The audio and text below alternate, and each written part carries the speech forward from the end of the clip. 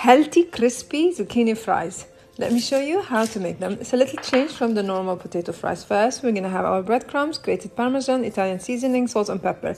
We mix those and we prepare our egg wash. Then we're gonna cut our zucchini like in the shape of fries. We're gonna coat it with some flour, the egg wash and the breadcrumbs. We can do this in the air fryer or in the oven. Both methods are on my blog. I've linked the link in my bio.